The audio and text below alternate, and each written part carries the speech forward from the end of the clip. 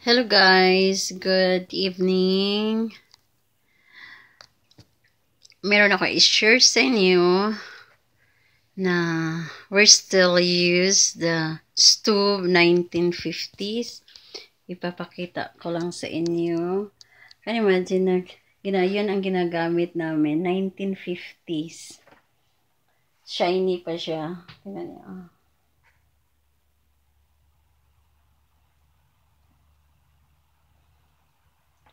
Ayan.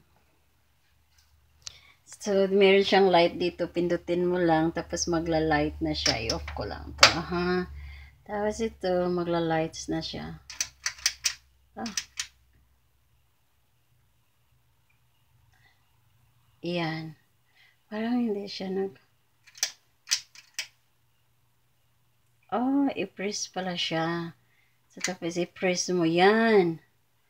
So, ganyan meron siyang lights. Tapos meron siya dito. Yung high niya is here, number 2, number 3. So, ang low niya ito, number 6. So, ang high niya, ito.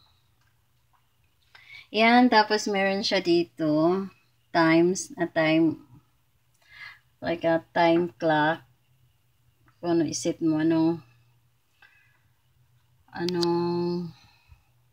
what they call that one, uh, cooking seat.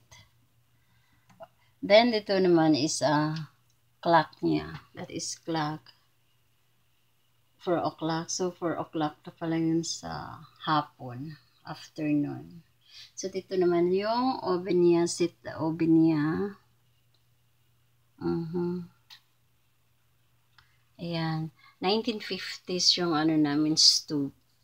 Still pa rin ginagamit. May extra dito saksakan. Uh -huh. Yan. Diba cool? Very cool. Nice. Tapos ito, i-open ko yung oven. Meron akong niluluto.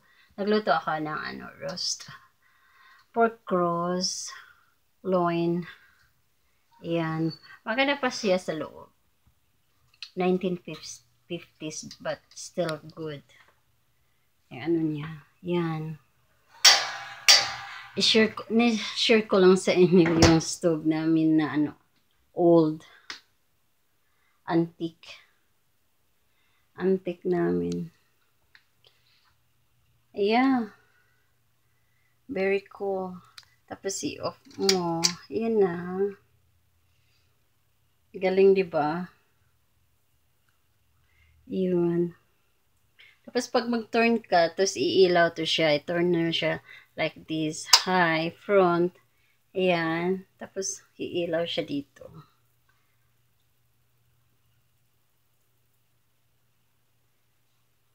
Tapos ang galing, ano, very strong ang yung ano niya, yung init niya, yung hot niya. Mag ano talaga siya, mag turn red. Yung high niya, high.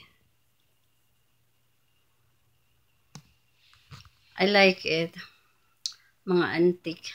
One of the collection of my husband. Ayan, ayan.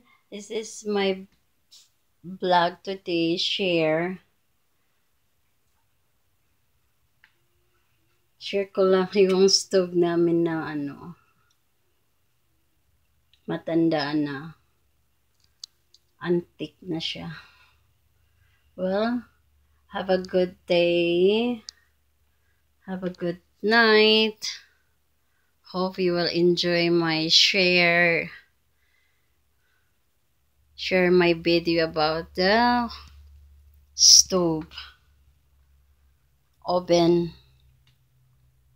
1950s but I don't know what's the brand this one. I forgot the brand, but I will put in there. I need to look at what is brand. Okay, bye-bye. Have a good day. See you next time. Don't forget to subscribe and like and comments.